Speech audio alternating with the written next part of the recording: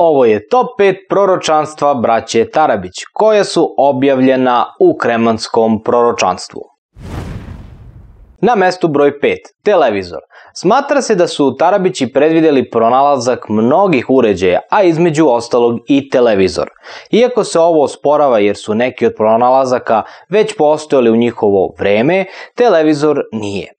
Prvi televizori su se pojavili tek u prvoj polovini 20. veka, a oni su taj uređaj u svojem proročanstvu opisali ovako. Čovek će napraviti sokoćelo sa prikazama, kutiju sa nekim dugmadima i slikama, ali neće biti u stanju da komunicira sa mnom koji ću biti mrtav. Iako će ove kutije biti blizu ovom drugom svetu, kao što su dlake na glavi blizu jedna drugoj. Mesto broj 4. Ubistvo kneza Mihajla. U ovom proročanstvu se nalazi sledeći citat.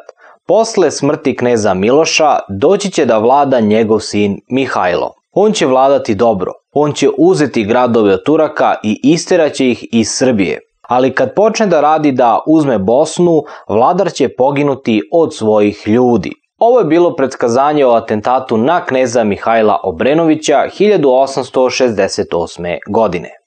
Treće mesto, Majski prevrat.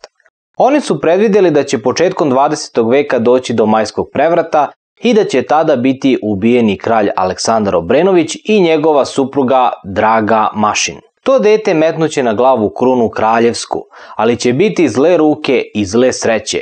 Umreće u najboljem dobu.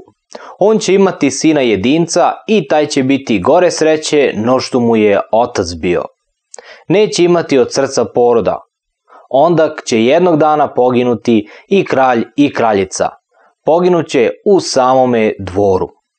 Drugo mesto, Prvi svetski rat. Za Tarabiće se tvrdi da su predvideli i prvi i drugi svetski rat.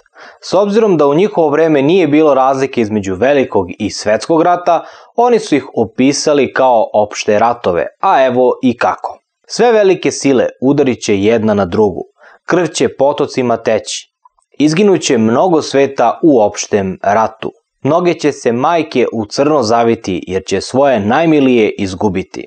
Mnogo će dece bez roditelja ostati. Srbi će biti isterani iz Srbije, ali će se vratiti.